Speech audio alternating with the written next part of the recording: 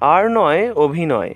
রাগে ও অভিমানে চরম সিদ্ধান্ত নিয়ে ফেললেন টলিউডের স্বর্ণযুগের অভিনেত্রী রত্না ঘোষাল। উত্তম কুমার, সুচিত্রা সেন, সুপ্রিয়া দেবী, সাবিত্রী চ্যাটার্জি, মাধবী মুখোপাধ্যায়ের মতো কিংবদন্তিদের সঙ্গে যাঁর পথ চলা শুরু। এখনকার টলিউড ইন্ডাস্ট্রির সঙ্গে আর খাপ খাওয়াতে পারছেন না তিনি।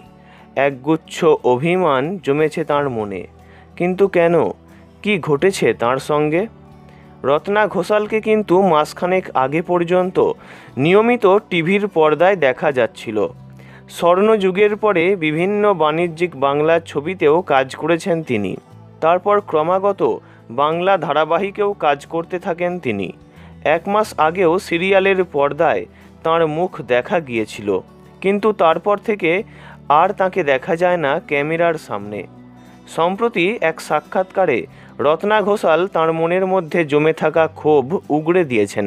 তিনি জানিয়েছেন, টলিউড ইন্ডাস্ট্রিতে বর্তমানে যেভাবে কাজ এগোচ্ছে, সেটা তার একেবারেই পছন্দ নয়।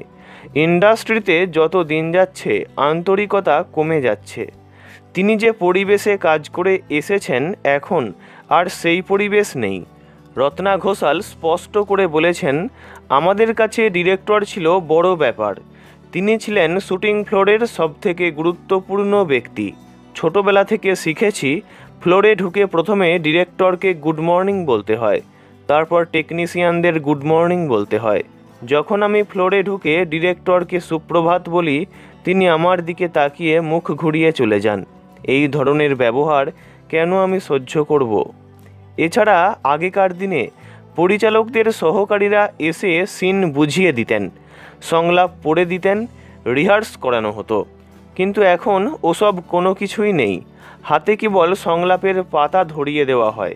রত্না ঘোষালের আক্ষেপ, আমরা কি গরু ছাগল নাকি? অভিনয় কিন্তু সহজ জিনিস নয়। এর জন্য একটা অধ্যাবসায় লাগে, প্রস্তুতি লাগে, চরিত্রকে বুঝতে লাগে, ফিল করতে হয়। এখনকার কাজের পরিবেশের সঙ্গে আমি কিছুতেই মানিয়ে নিতে পারি না। আমার কাজ করতেও ইচ্ছা করে না। তার কথায় সহমত প্রকাশ করেছেন অনেকেই, কিন্তু তিনি অভিনয় ছেড়ে দেবেন এ কথা কেউই মানতে পারছেন না। তিনি খুবই দাপুটে অভিনেত্রী, তার মুখে এমন কথা শুনে দুঃখ পেয়েছেন তার ভক্তরাও।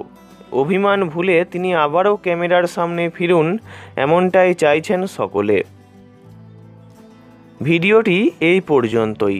বিনোদন জগতের সব রকম খবরাখবর জানতে চ্যানেলটি অবশ্যই সাবস্ক্রাইব করবেন। ধন্যবাদ।